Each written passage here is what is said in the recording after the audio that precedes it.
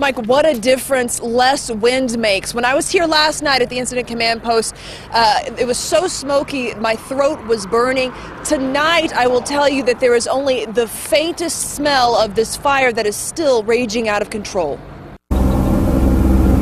Lining this street in the fire zone, We're so grateful to the firefighters for what they're doing. a thank you outside nearly every home. Watch their houses burn down while they're trying to save somebody else's. The land is charred and dry, but one thing made today better than the day before. The lack of wind, in all honesty. Uh, the wind, the, the expected winds were not as strong as they were yesterday. At the fire retardant mixing station, helicopters keep a constant pace. It, it's been a good day as compared to yesterday. Riding his white horse through black ash, Don Hunter says the fire came so close to his home it burned the fence posts. Many of his neighbors still wait to find out about their homes. Some know the fate of their homes and some don't. It takes one ember and one beetle kill tree, and there's a lot of that. Linda and Rich Baker know their home could still burn. If they could post a sign, it would say something like this. By the grace of God, it's still there and the help of the firefighters.